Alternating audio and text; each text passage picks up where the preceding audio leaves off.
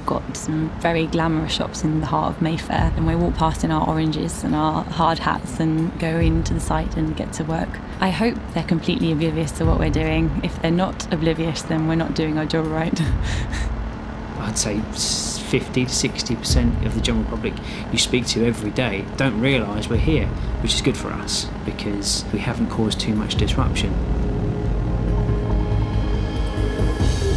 We really are planning for Crossrail to be fully functional for the next 120 years. And the fact that our local environment doesn't really know that this secret underworld exists is a privilege to everyone working on Crossrail. There's always an unknown when you're digging. You don't know what the next bucketful of, of excavator is going to bring. But um, we've had no archaeological finds, so no cadavers coming crawling out. Been pretty lucky.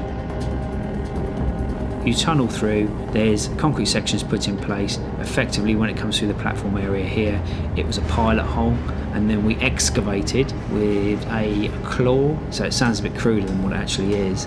And then at that point, then we sprayed lined concrete in the area. You go through Gray's Antiques, where we go below, that's 250 independent antique dealers with some of the most expensive antiquities throughout London. It's not only odd, it's dread. When we were working on the Western Ticket Hall blocks, we were about three metres off the Jubilee line. The pressure is really high at the moment. I enjoy the morning peace down in the tunnels when I'm first down there. And once all the day activities happen and the instructions being given, you do get a real sense of progress, of things moving forward and, and us achieving and delivering ultimately what is a physical structure that you can see. We've had this project in the planning stages for around about 30 to 40 years. This is a massive, massive contrast to what we've got at this moment in time in London Underground. Platforms are wider, platforms are longer. The trains themselves will carry around about double what a London Underground train will. Yeah, this is the biggest job I've ever done. 20, 30 years time, I think, uh, yeah, I'll, I'll still be talking about the Crossrail project this sense of achievement that you get from building this station below some of the most historic buildings in London, yes, massive, massive.